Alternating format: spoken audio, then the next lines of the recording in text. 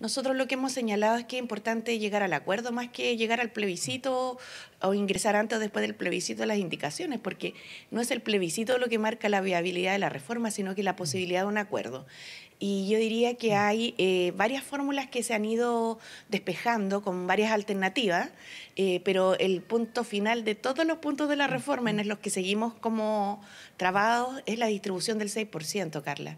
Y eso es complejo porque eh, si se insiste en que vaya entero a capitalización individual de la AFP, resulta que las pensiones van a subir, pero para quienes hoy día recién empiezan a trabajar.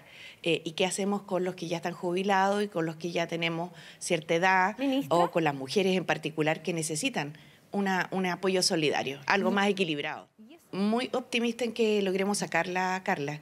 Sé que a veces la atención por la contingencia y ahora el mismo tema del plebiscito se ha tomado varios temas a la agenda, ¿no? Por eso es importante eh, cuando hay ventanas de oportunidades, cuando no hay elecciones, porque además nos toca un periodo bastante seguido de elecciones, hay que recordar que después del plebiscito el próximo año hay elecciones municipales, de gobernadores, que podamos en esos tiempos intermedios terminar de ponernos de acuerdo.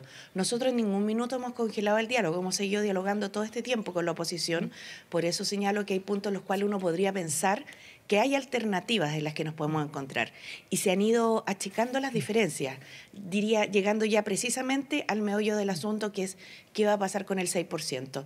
Y yo creo que es importante que eh, las personas sepan que el efecto de la reforma o lo que busca es subir pensiones. Eh, ahora, digamos, ahora y para el futuro. Entonces, si nosotros prolongamos este 6% solo para el ahorro individual, va a pasar lo que señalaba, van a subir la pensión en 30 años más. Por tanto, aquí hay que ceder y poner a la gente primero, si ese es el punto.